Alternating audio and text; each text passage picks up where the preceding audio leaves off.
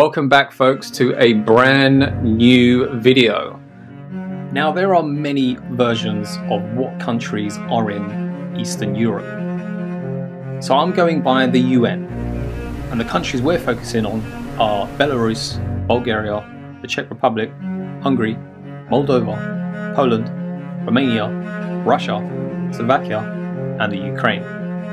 So if you didn't see the country that you think should be in there, please write into I'm probably not going to answer. Now before you even watch this video, don't forget to hit that like button, obviously for the YouTube algorithm. Number 1. Lviv, Ukraine.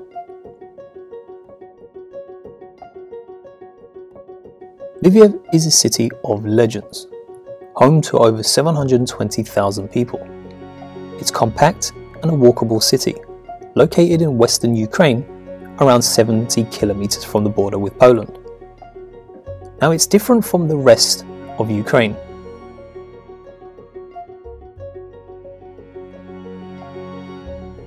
You will immediately notice a difference in its architecture, which blends Central and Eastern European styles with those of Italy and Germany, rather than the Soviet architecture that you will see in the rest of the country. You should check out the Center, which is a UNESCO World Heritage Site, bursting with more than 2,000 registered landmarks. But if you like high views, you should climb the High Castle.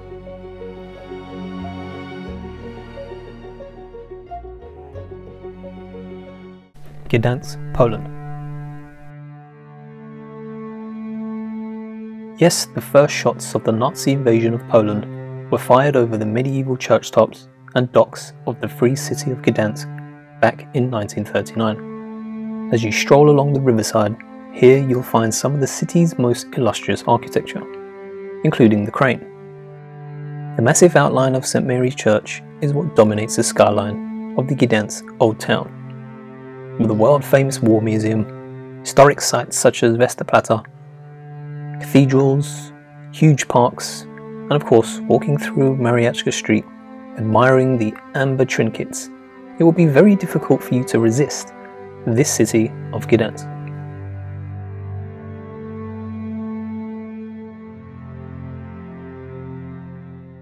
The Moravian Fields, the Czech Republic. The Moravian Fields look like an oil painting, but these pastel coloured hills are as real as it gets. The Czech Republic's easternmost region is often referred to as the Moravian Tuscany, due to its uncanny resemblance to the rolling hills in Italy, or even better as some say. The area is an easy day trip from Prague, so head towards the town of Chártychy, and there you will find some amazing views.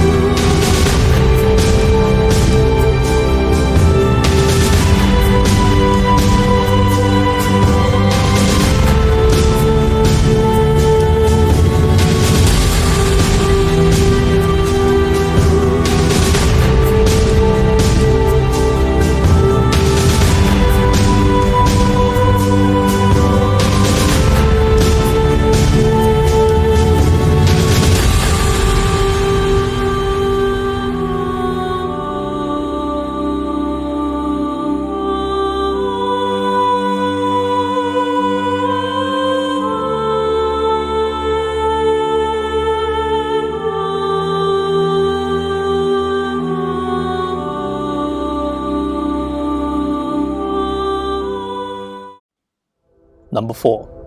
Transfăgărășan, Romania.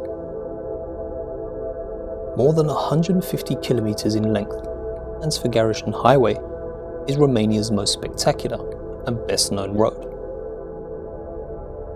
They say it's the best road in the world, or at least while comparing it to a racetrack. But still, Transfăgărășan offers so much more besides the amazing driving experience. With beautiful nature and glacial lakes, it's the perfect area for hiking and going for that scenic drive.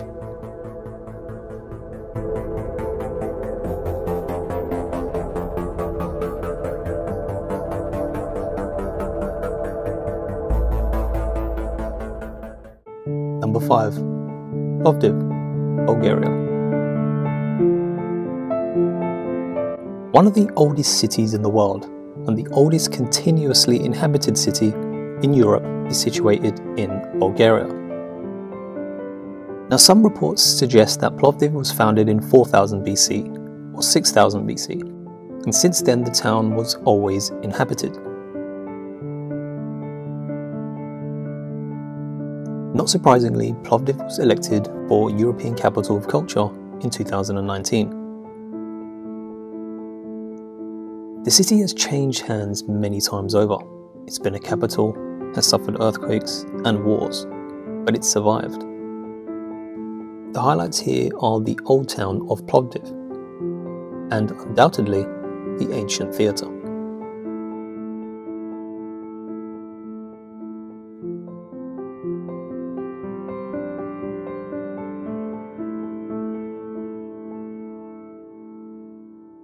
Number 6.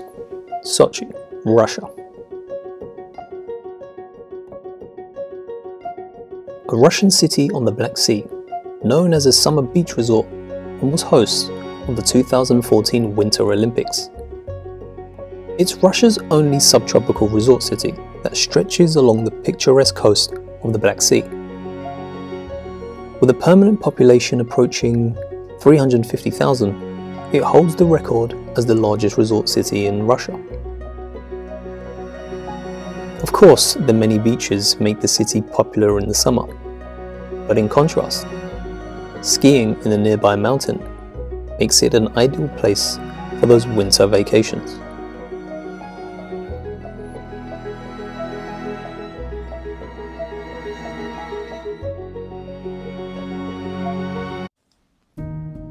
Number 7. Budapest, Hungary.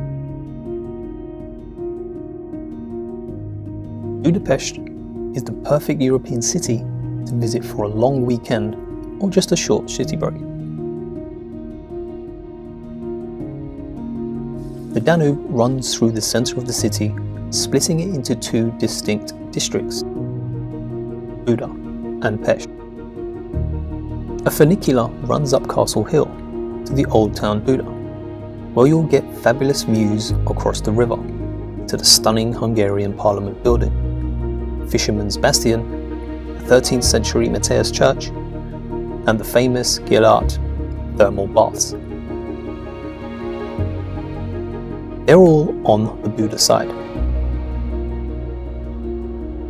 You can cross the chain bridge to explore Pest with its trendy ruin bars, ornate coffee shops, the food market, and the grandeur of Hero Square.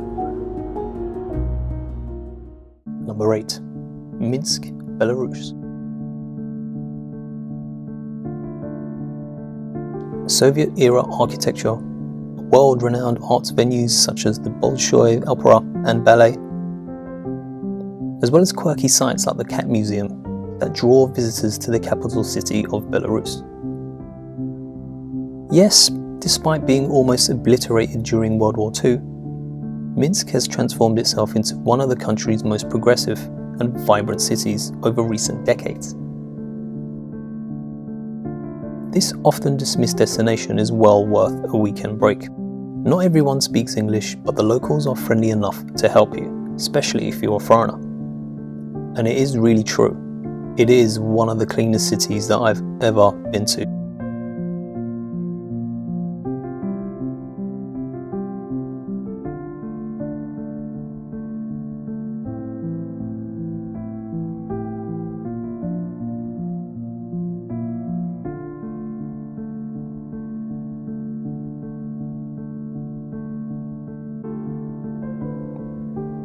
Number 9. Sibiu, Romania.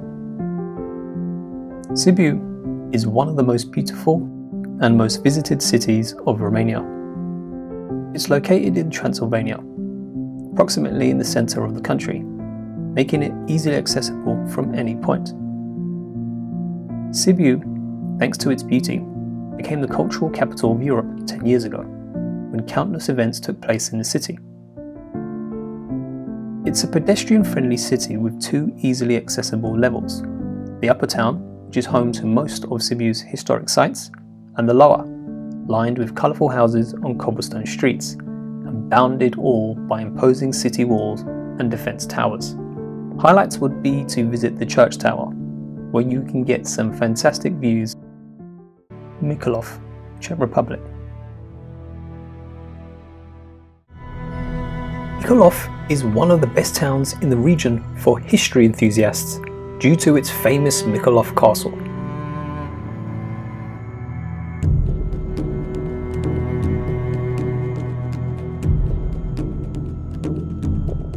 Originally erected in the 13th century and rebuilt following World War II, the castle now hosts tours to educate visitors on its surprising past conflicts with the royal family and its importance during the 18th and 19th centuries.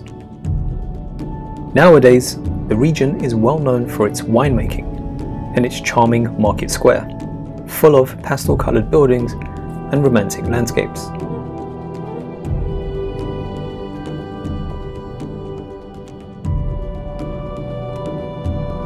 It's a town bursting with culture and beauty, just waiting to be discovered once again.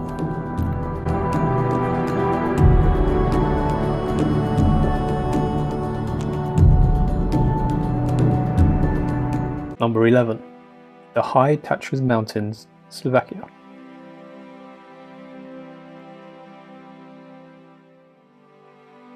The High Tatras are a mountain range that span the border between Poland and Slovakia.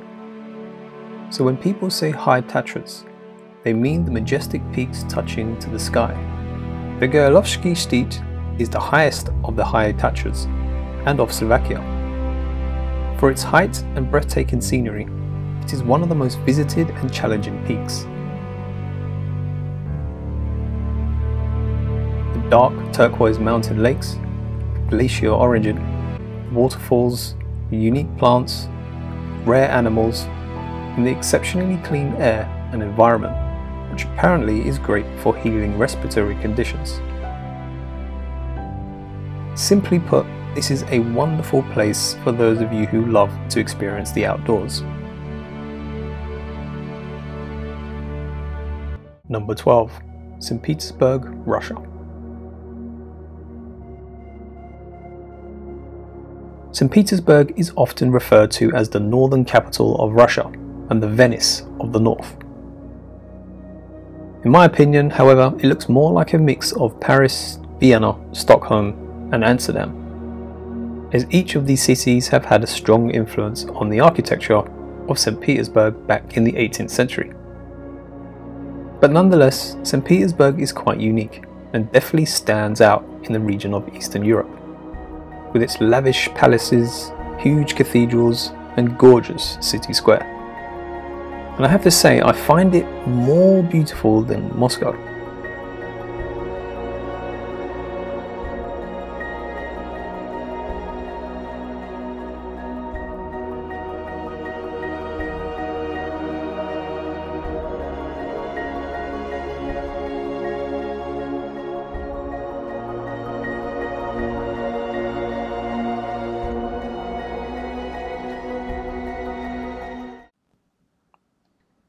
Number 13. Chisinau, Moldova. Moldova's capital is certainly the country's brightest and cosmopolitan city, and is undoubtedly one of the most and is undoubtedly one of the must-see places when you come to Moldova. It's also a place of history, much of which is still visible in the architecture of the old town. The main sites are easily viewed on foot, such as the City Hall, the Arch of Triumph, the bell tower, and the Orthodox Church are all in the centre. But try not to compare this city with a place like Paris. It might seem like Chisinau is the most boring capital you will ever encounter, but you're not there for its beauty. You're there to experience a different vibe and an atmosphere of a city that's completely different to yours.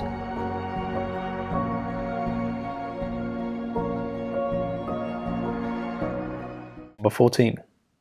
Rodopi Mountains, Bulgaria.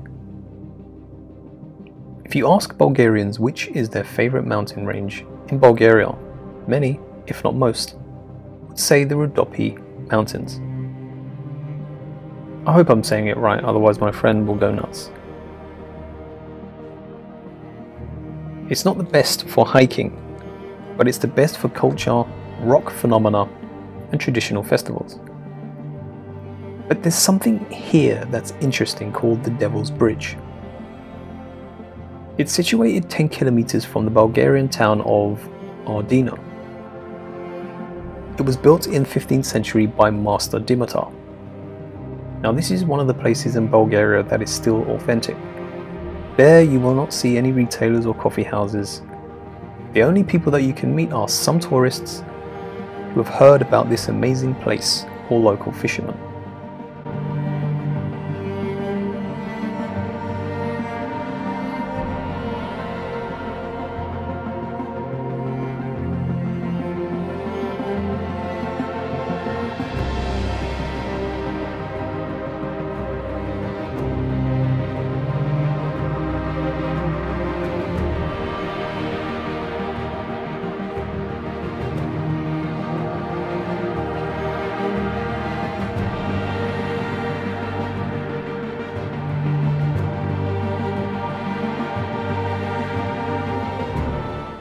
Number 15. Gemo Andriad, Hungary.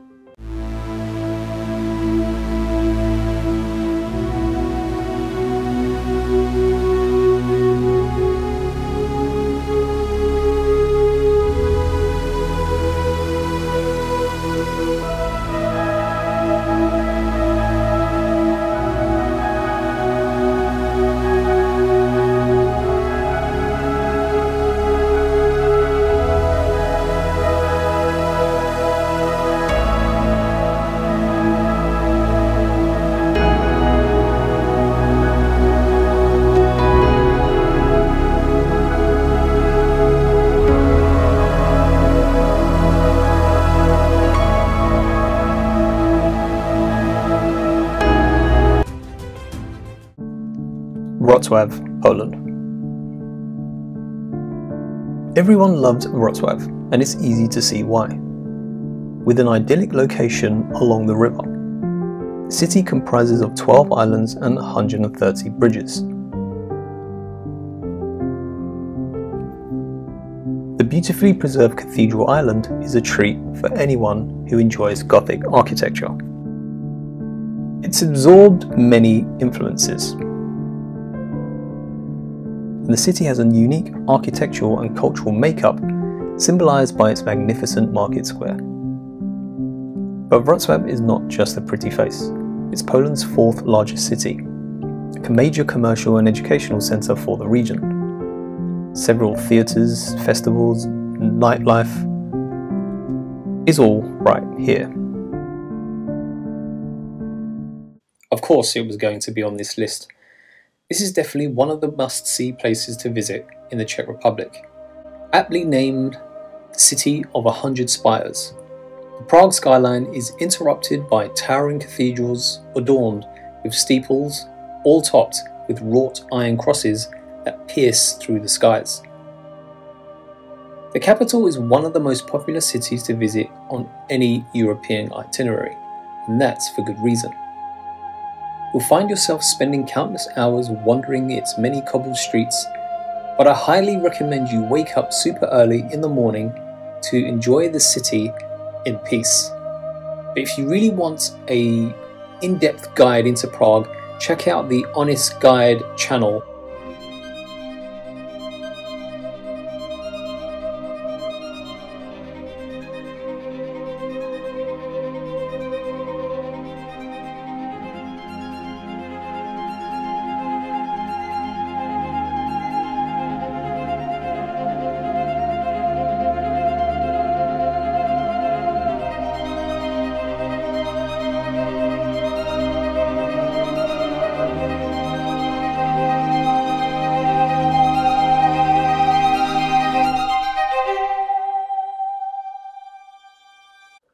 Bratislava, Slovakia. Bratislava, the capital of Slovakia, is set along the Danube River by the border with Austria and Hungary. It's surrounded by vineyards and the Little Carpathian Mountains, crisscrossed with forested hiking and cycling trails. You have the pedestrian only 18th century Old Town, which is known for its lively bars and cafes. Perched atop a hill, the reconstructed Bratislava castle overlooks Old Town and the Danube.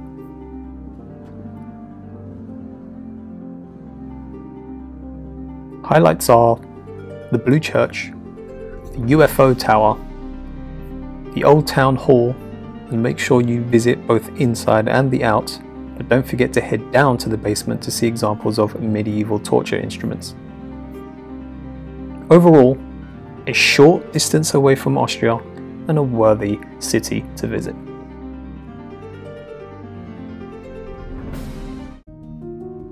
Bucharest, Romania. Bucharest, the capital of Romania. It's a dynamic modern city with a wildly sensational history. Nicknamed the Little Paris in the early 1900s, Bucharest really plays the part with tons and tons of cafes, impressive tree lined boulevards, and a dramatic modern and historic architecture. Home to many attractions, and the most remarkable landmark is the monstrous Parliament Palace.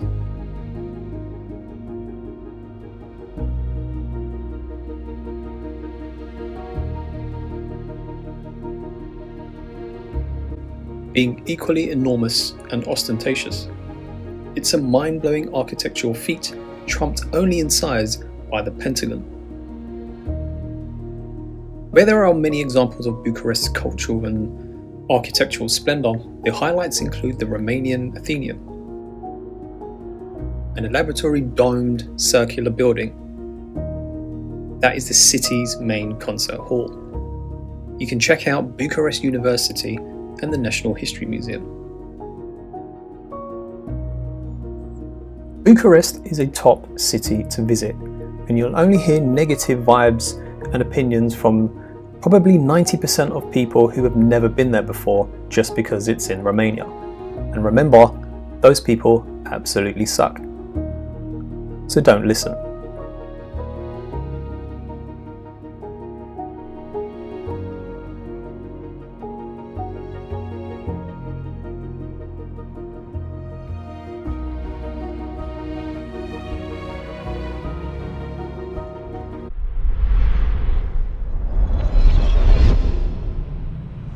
Krakow's Old Town.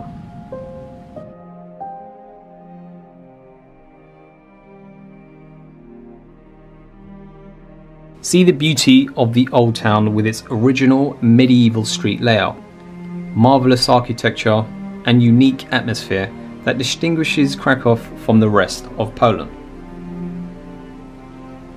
I'll be honest, it's my favourite city. But as the former capital of Poland, it has a rich history which is still visible in its architecture today.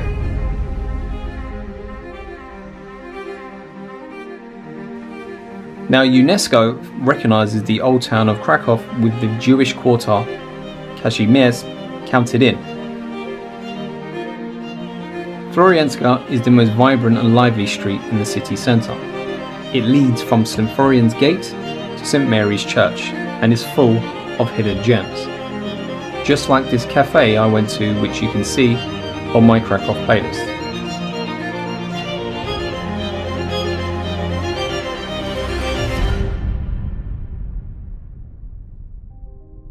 So there is so much to see and do in this area alone.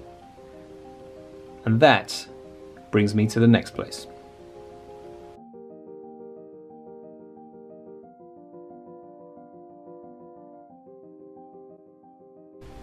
Wawel. This castle is undoubtedly one of the most important historical sites in the whole of Poland. When Krakow was the capital of Poland, the Wawel royal castle was where the Polish kings resided, 1333 to 1795.